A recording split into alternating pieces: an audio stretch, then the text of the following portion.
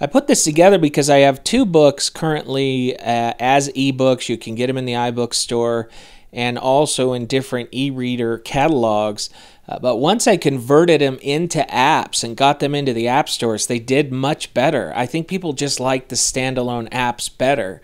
Uh, I also got better reviews. Uh, so I put this together using tables in GameSalad. I have it for the Nook and for the iPad, and it's incredibly simple to use. If you can copy and paste, you can edit this ebook and put it out to the world. Uh, you can see here I have a table of contents screen. All of these, uh, all of this information, each chapter comes from a different table. The title of the book comes from a table. So, really, all you have to do is copy and paste your information in, and all of this uh, fills in automatically.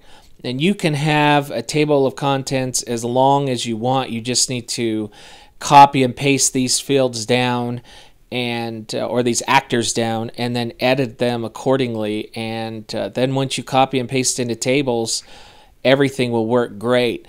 So uh, again, here are each of the chapters or sections, and then when you click on the one you want, it automatically takes you there, and you can see it's got a really nice little scroll function up and down. Um, if you arrow from right to left, you're going to go to each of the different chapters or sections, and this isn't changing scenes which makes it load very quickly. It's actually just changing all the information in this actor right here.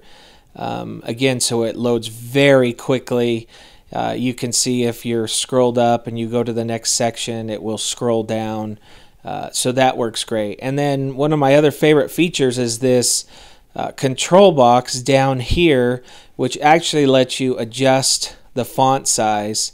And you can uh, you know you can play with this you could put all kinds of other customization options in here uh, that would really make it even more functional just use your you know your imagination and you click here and that will take you back to the table of contents.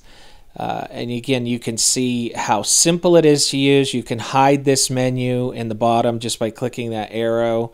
Uh, so just very uh, easy and simple to use as a consumer, uh, but you'll be really impressed with how easy it is to copy and paste and to edit this book to create as many ebooks as you want uh, very quickly once they're typed out.